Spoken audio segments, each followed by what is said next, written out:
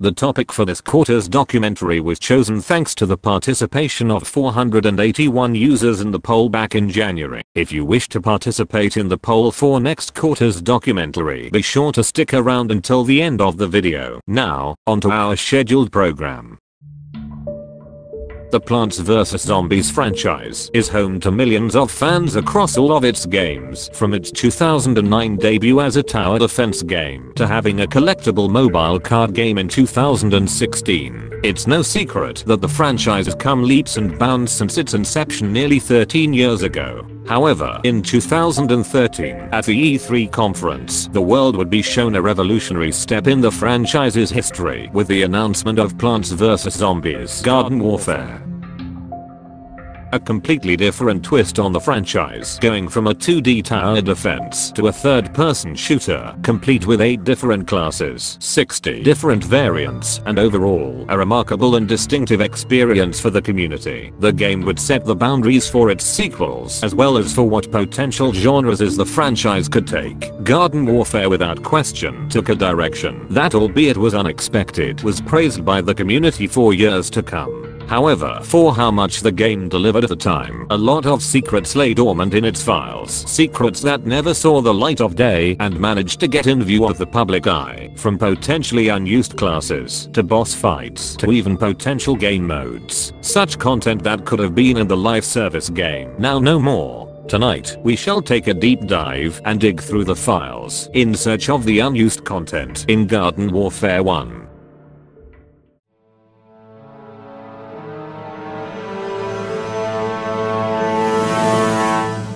Now, before we begin our long and prologue journey into the game files, let us first take a look at the game's reveal back on the 11th of June 2013 at the E3 conference that year. Back then, the reveal served as a way to show off the game's third-person nature, as well as brief demonstrations of the four plant classes in the Garden Ops game mode. Pea shooter, sunflower, chomper, and cactus. From the gameplay shown, we can clearly see that apart from a few graphical differences and mildly different statistics on each of the classes, the game functioned almost identical to the ops that we have today, aside from it being altered to have a disco zombie and a gargantua show up after wave 1, presumably for demonstration purposes. However, even from this reveal trailer alone, we can spot two noticeable differences that might be more than just for demonstration purposes and could possibly reflect different gameplay mechanics. The first of these being spotted earlier in the trailer is that each player seems to have a life counter underneath their character icon. This is not present in the live version of Ops we have today so this could mean either one of two things. It could possibly be that each player only had 5 lives and that self-revives weren't a thing or that it was a public self-revive counter showing how many self-revives each character had left. However, the second more notable difference is that of an appearance by what looks to be the Zombot from PVZ1, making its grand appearance by falling from the sky, instantly killing the chomper, laughing, and then stepping on the cactus, bringing the presentation to a close.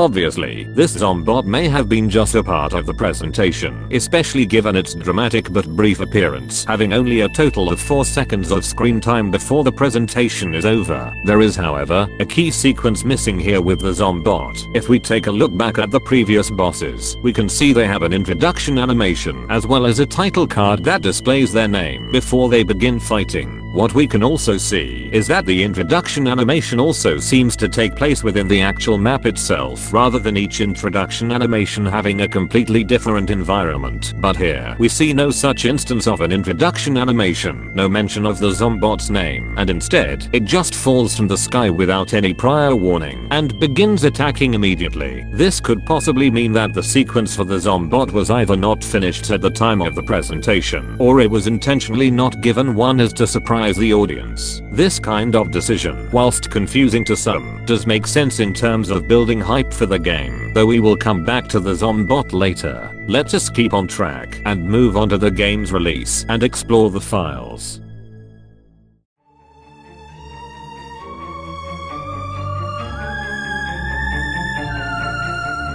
Moving on to the game's full release, we have a lot of unused graphics within the files, as well as a handful of abilities for us to go through. The first of these two abilities is what looks to be a Zombot turret ability. This ability used to originally belong to the engineer class, and presumably allowed him to place down turrets like the ones in gardens and graveyards except he had full control of where to place them. This is only a rough educated guess however with the only source being from the zombie class reveal trailer where we see the engineer use a jackhammer to charge into battle before placing a turret by his side. Considering the fact that it has an ability icon tells us that it was late into the game's development before the ability was scrapped and promptly swapped with a Zombot drone. Another ability that looked to be scrapped is what has been dubbed as the hand grenade. This ability seemed to briefly be originally meant for the scientist to have in place of the sticky bomb before being scrapped. This ability was also associated with the scrapped Gravedigger class prior to the scientist's creation, which we will get into at a later time. Whilst it does have an ability icon from a documented test by Gabriel, upon using the ability, the scientist can be briefly heard giggling before the game comes to a screeching halt and outright outright crashes.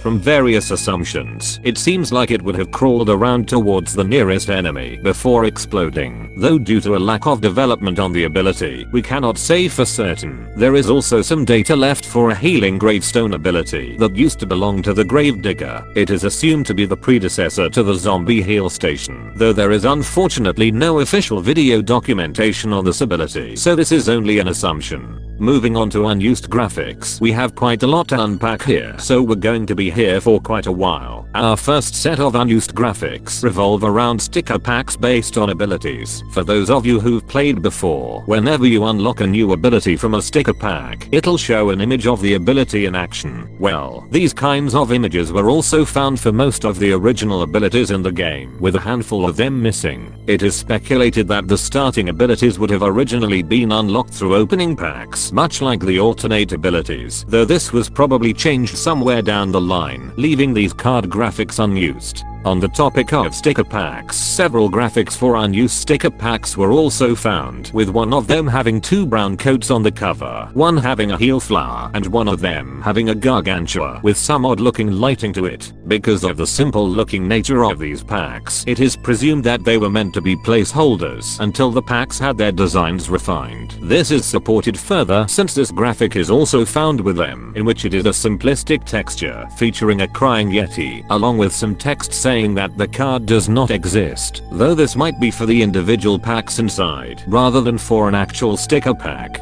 There are also some cards hinting that at some point in the development the player would have been able to use cosmetics from other variants in the same class and have them applied to each other as shown here are several cards having the default pea shooter, be equipped with various organics and cosmetics normally equipped by other classes. Though on the last two cards, there seems to be some sort of placeholder texture and object applied to him which can be seen on quite a few scrapped cosmetics, especially for the soldier which is most of them sized to an extreme scale with one of them obstructing his head from view. These were probably scrapped early in development as they have a completely different design to the cards that we see today. We also have what looks to be an early version of the end screen from Garden Ops which makes it look like some sort of book with slots dedicated to both normal waves as well as the boss wave and the escape sequence. Up next are some spotting icons, with two of them being part of the Chomper virus unused game mode that we will cover further down the line. These two include an antidote and what looks to be a radio part. The Gravedigger also has a spotting icon, though this is more reminiscent of a boss spotting icon rather than the ones used by the current playable zombie classes, as those do not have a white outline around them, whilst the Gravedigger's icon does, which lines up with the other boss icons having a similar white outline around their spotting icon. This would suggest that at one point the Gravedigger went from being a class to a potential boss before ultimately being scrapped. This graphic was also found that belonged to him which is supposedly its icon when shown in the Zomboss slots though due to the graphic having a harsh contrast in comparison to the others it's either a placeholder or a hint as to how the boss icons were originally displayed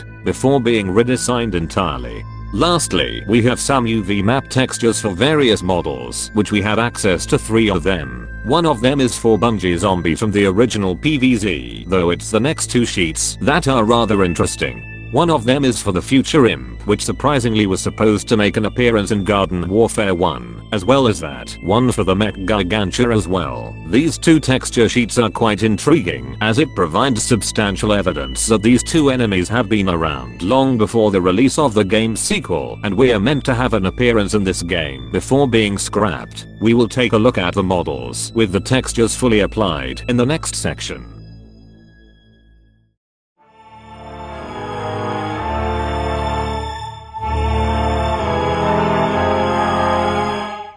Our next part of our expedition shall explore the models with the previously assigned textures as well as listen to some sound files that may be of interest. Starting with the models, as previously mentioned both the Future Imp vehicle and Mech Gargantua had texture sheets within the files. Well, once applied to the models, these are the results that we have. As you can see from looking at the model's general appearance, they would have had a slightly more weather design overall, which is especially apparent on the Mech Gargantua when comparing its model to the Garden Warfare 2 version. The Future Imp vehicle does not have a model however, so the image shown has the texture sheet applied to the model used in Garden Warfare 2. It's quite fascinating to see that these enemies were meant to appear in the first shooter, though were ultimately pushed to the sequel instead.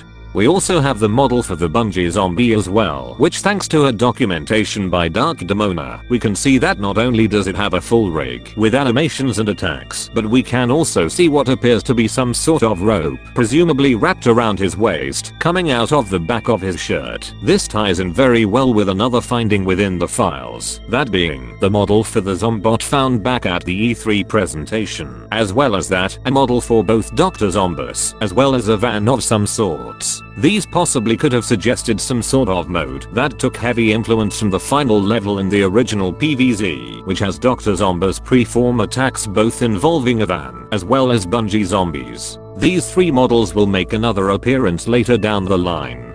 There also exists a model of what looks to be some sort of small teleport device, presumably an early version of the teleporter we see today. The model consists of a small podium with a control panel that has a few levers, buttons, and a monitor featuring Dr. Zomboss from the first PVZ game. What it would have done is unknown, since there does not seem to be any form of functionality left for it, though as previously stated, it is speculated to be an early version of the teleporter we have today. Lastly, we have a model of a fairly simplistic question mark, which actually was meant to be used in the scrapped Super Team Vanquish game mode as to represent the power-ups, though due to the game mode being scrapped, this was unfortunately scrapped as well. Next, we have multiple audio files to examine, both in terms of sound effects as well as some unused music files. We first have three audio files dedicated to the previously mentioned hand grenade ability, one consisting of a fuse and the other two consisting of the explosion based on the player's proximity to the explosion.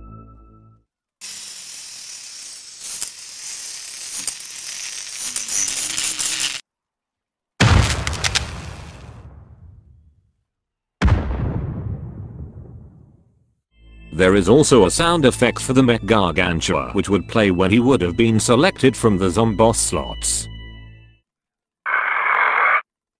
Lastly are some unused music files, which compose of two supposedly used for loading screens, an unused variation of Loon Skirmish, an instrumental of one of the zombie objective capture themes, and an unused version of the March theme in Garden Ops. The loading sequences will be played in full, whilst the rest will have a section of them played.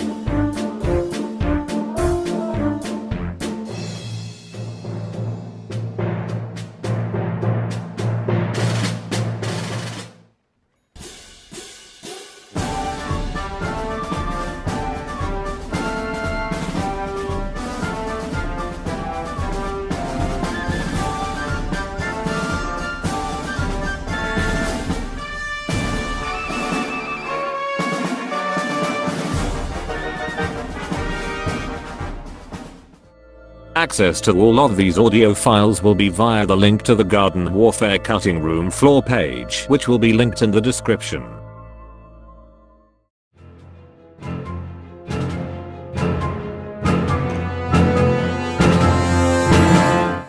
This next section will be dedicated to the various hints of scrapped variants or classes within the code. Starting off however, we will first take a look at data regarding the SWAT zombie. The SWAT zombie is one of the two unused classes that is referenced within the game files as well as in some concept art for when the game was in early development. From what we can assume, the SWAT zombie was potentially the early revision of the foot soldier class before the design was changed. All that's left of the SWAT zombie is some leftover code and some skeleton information. However, the SWAT zombie makes another unused appearance in the files for Garden Warfare 2. Specifically in the texture sheet for Gravedigger's cameo appearance, we can see texture work for a SWAT uniform in the bottom corner. Whether this means he was considered is unknown, though it is quite interesting to find his textures alongside the Gravedigger's. Though speaking of the Gravedigger, let us now move our attention towards him for Gravedigger is easily the most well-known unused class within the game, with him originally filling the role of the healer class. The Gravedigger would have been quite the interesting class, having a hand grenade that can move and a gravestone that could not only heal allies, but also summon AI zombies also granted him both healing and utility to the team. His primary was also described to be like a shotgun weapon, which is similar to what the scientist currently has now. Ultimately, the reason the Gravedigger ended up not becoming a class was due to the design team having difficulty in coming up with variants for the class, leaving both the class and his kit ultimately scrapped and recycled for the scientist class.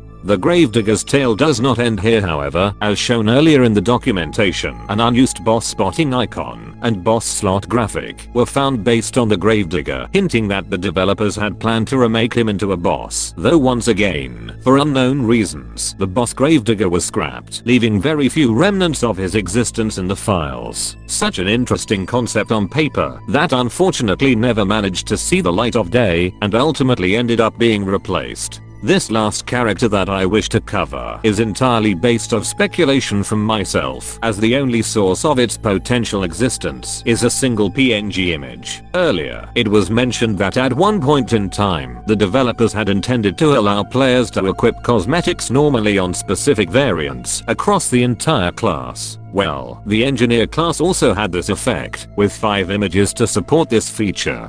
You've probably noticed that the fifth image is not present with the rest and there is a specific reason as to why, which I will share right now. Looking at the fifth image in question, it looks like nothing special, being just an untextured engineer hat with various accessories and nails placed on top of it. That is until we examine the file name of the image, which is labeled as carpenter.png. Now, this could just be an unused cosmetic or a placeholder for something else, but the fact that it was not only found with the other four images, each having cosmetics from other engineer variants, leads me to believe that this supposed fifth image is of a carpenter engineer variant that never made it into the base game, a variant lost to time whose existence was only preserved by a singular PNG image. What this variant could have done is unknown and is completely up to anyone's guess since apart from the singular image, no other data has been documented about it.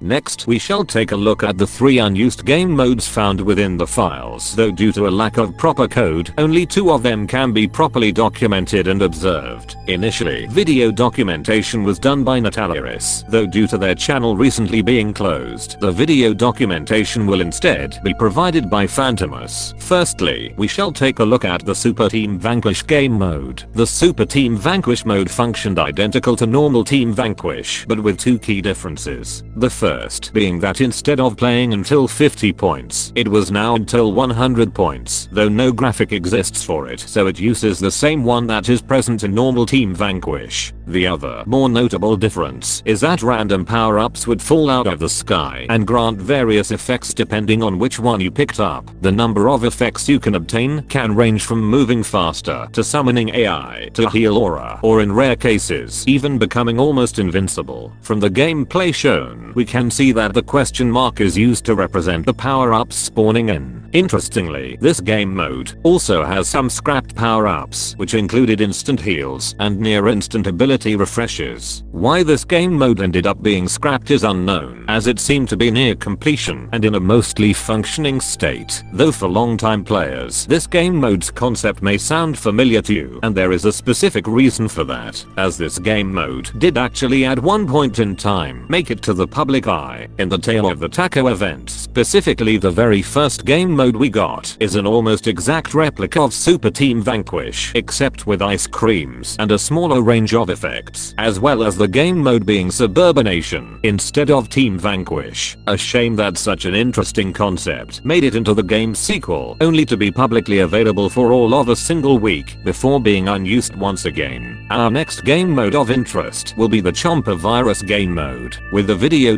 documentation being done by Dark Damona. This game mode revolves around a concept reminiscent of Infected, where one team has to avoid being killed by the other team whilst the other team has to kill them in order to turn them into one of their own. Every so often, antidotes will spawn around the map and the zombie team has to pick them up within a set time limit or else they will end up becoming a chomper. There was a variation of this where the zombies could collect parts of a radio where they could summon a rescue and win if any of them managed to survive. It is interesting to note that the antidotes themselves are a reused asset, suggesting that the asset that was meant to take their place had not been made prior to it being scrapped entirely. Another thing to note is that all players take double damage from all sources and on top of that, the Chomper team has access to a power up which grants health regeneration, 4 times more jump height and a 50% speed increase. This game mode, whilst certainly an interesting concept, was unfortunately scrapped for unknown reasons.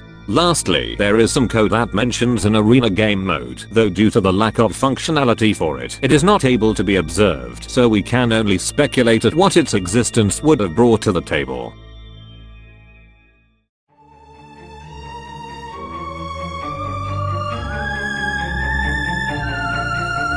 This last section will be dedicated to the unused maps that were found within the files, though one of them can technically be observed within the live service game through the means of a glitch. Before we get into that however, let us first take a look at an unused arena that was actually meant for the unused Zombot featured earlier. This arena can be found within the Zomboss estate map, which is coincidentally the same map the Zombot made its grand appearance in. Normally, this arena is never loaded and thus cannot be seen in normal gameplay, though by forcing the subworld data to be loaded, you can get the arena to appear in game, allowing us to properly observe it. As you can see, the arena contains rather basic geometry and is missing a lot of textures, though the main attraction would be the T-posing Zombot in the center, who actually has several programmed attacks, though they are clearly unfinished, due to two of them not dealing damage and most of them spawning in an additional limb that preforms the attack, whilst the model itself remains in place. There is also a yellow colored cylinder placed in one of the Zombot size, which may have been a temporary weak spot that you had to shoot at, though we cannot say for certain. The area behind the model uses assets from Driftwood Shores, either as a placeholder or possibly as the actual theme of the arena itself. Because of the nature of this arena, this could possibly suggest that at one point in time, this may have been a part of a game mode that never got past the concept stages and was thus left here, scrapped for the rest of time. Now, onto the other unused map, which can be observed within the live service game. This was actually brought to my attention by a user on Discord under the name of Lava Lord CP, who will be credited for telling us this rather intriguing information. According to them, a hidden bunker exists outside of the boundaries of suburban flats and by using an exploit to escape the map's intended boundaries on Gnome Bottom, we can find it in the middle of some strange terrain. Naturally, since it was stated that it could be viewed within the base game, I wanted to see it for myself. So after having a discussion on Discord, a lobby was established, and when the map was rotated to the one in question, the glitch was preformed, and through following the provided instructions after ascending the massive hill, there was the bunker, in all of its glory, stranded in the middle of this strangely shaped land. What this bunker would have been used for, or why was even left in a place that can never be seen, is entirely up to debate, as even myself and Lava Lord have not a clue as to what it could have been. Though whilst the bunker was of initial interest in this investigation, the arbitrarily shaped terrain began to look strangely familiar. Exploring the area, we can see this shaped terrain is actually Zomboss estate but without any of its assets loaded in. This can be proven to confirmation as recently, a tweet was uncovered by Jeff Shaw, one of the game's developers, who stated that they were connected originally as part of a prototype that unfortunately ended up not making the cut, though the remnants of it were left behind. It would have been a very interesting concept having these two original maps be merged into one singular large map. Why it was scrapped is unknown, though it could have possibly been due to technical limitations, balancing, or maybe even the sheer size of the two maps combined could have been too big for game modes like Team Vanquish. However, as since the game at this point is more than 8 years old, all we can really do now is speculate and make educated guesses. As to why the bunker is there is a complete mystery that may never, ever be brought to a conclusion.